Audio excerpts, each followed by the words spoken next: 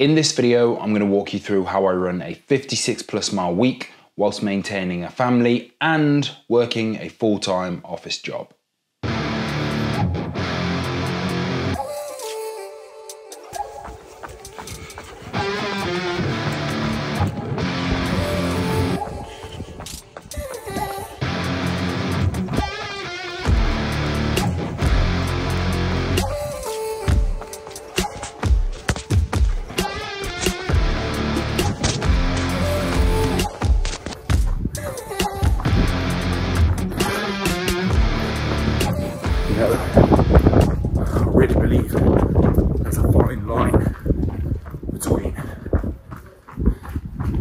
Getting stuff done for you,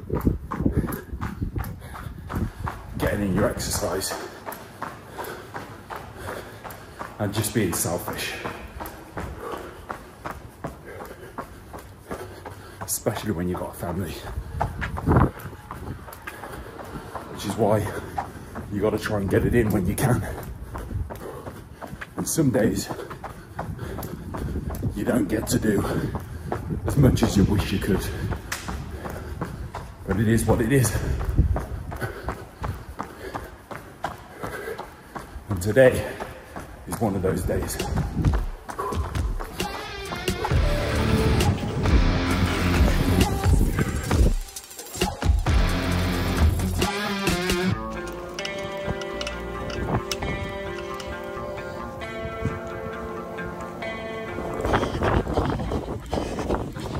You see my partner works nights. So rather than getting home a little bit later, or run into work and back from work, I'll get the run in first, ride to work, run at lunch, and then ride back home. It just means I'm I'm home 30 minutes earlier, but every bit counts. And I think that's one of the keys to kind of trying to live this kind of lifestyle and having a healthy relationship is that you got to make sacrifices.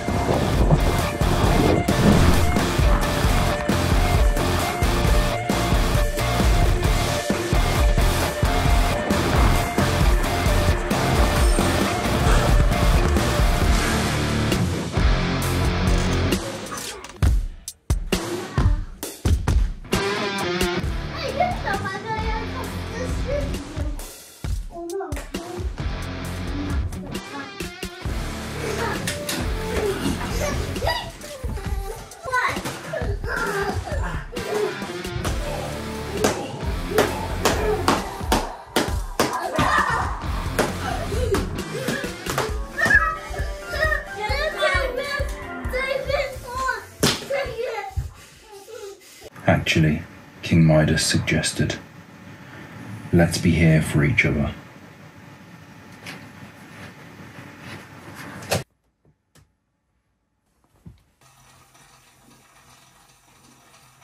So Tuesday is a working from home day and I get to take the kids to school, but I do miss the morning run. However, I go for a longer run at lunch, but after school activities get in the way of an afternoon run. So it turns into more of a spin bike day and a kettlebell day.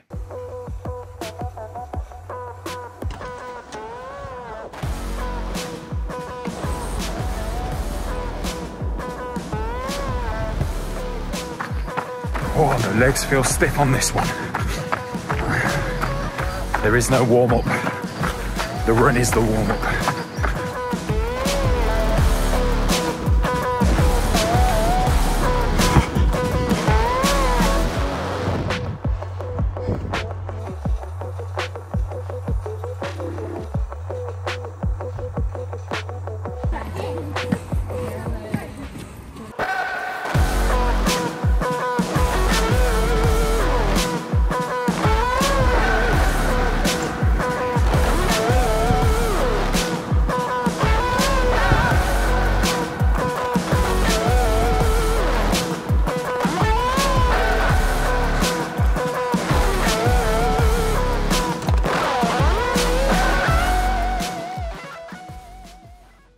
Some days, my daughter has gymnastics right when I get back from work, which makes it pretty difficult to run or ride to work, which means it's a car day. However, we still get that lunch break running.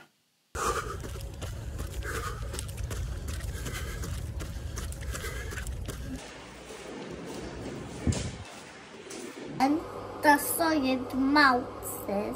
Yeah, turns into a solid. Solid, like metal. Metal is solid, Daddy. Yeah.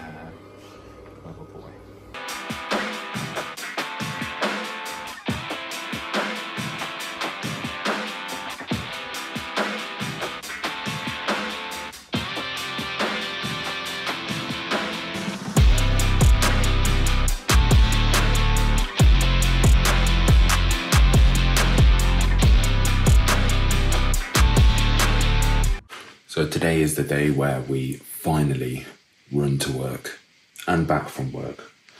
And I'm going to take some food. So I've got some bagels and I've got to put it in my running vest. And I forgot to leave my work laptop at work, which is in this bag. And now I need to run to work with it basically. So I've got to try and empty out as much as possible. Get my water bottle, which can't remember where it is at the minute.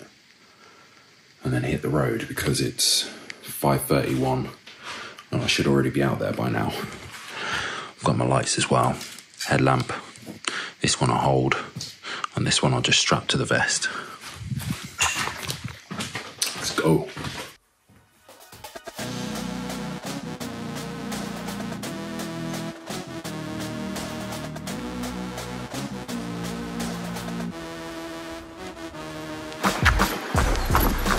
All right, it's raining. Didn't even realise it was.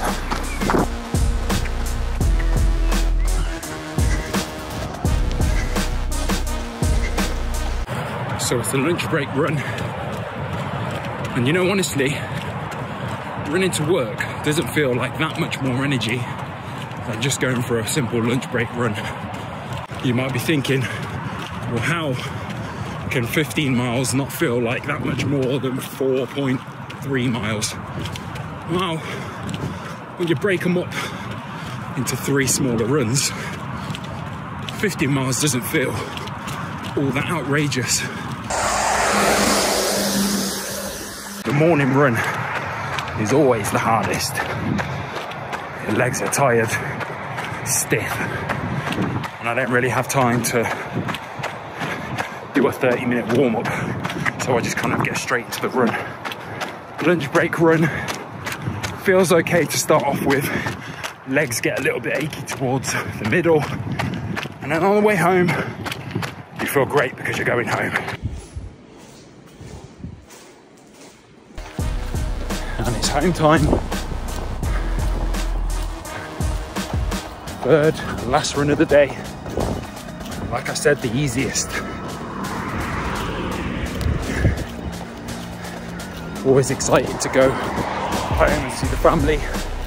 Just makes the run go that much smoother, that much easier, that much faster. Let's go.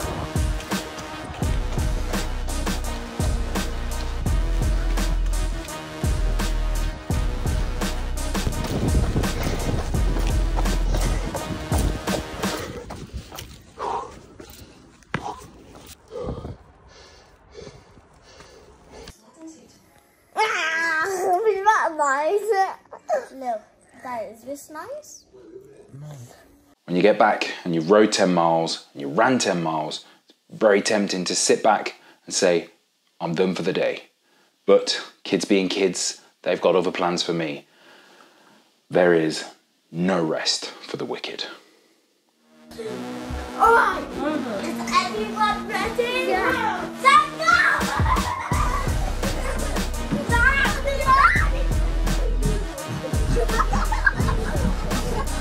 Sighed and hung up the phone. I've called every pepper farmer in the state of Louisiana. Cold as shit today. Windy and rainy. So Fridays is a little bit shorter of a day.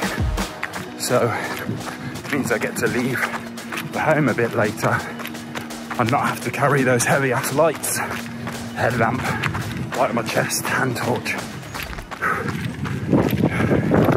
Obviously I get a little bit more sleep. Final lunch break run. Really didn't want to do today. Felt very tired.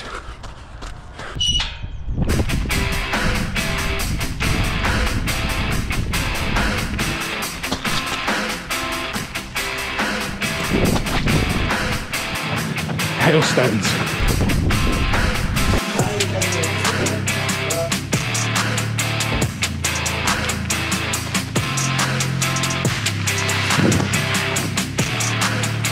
Home time.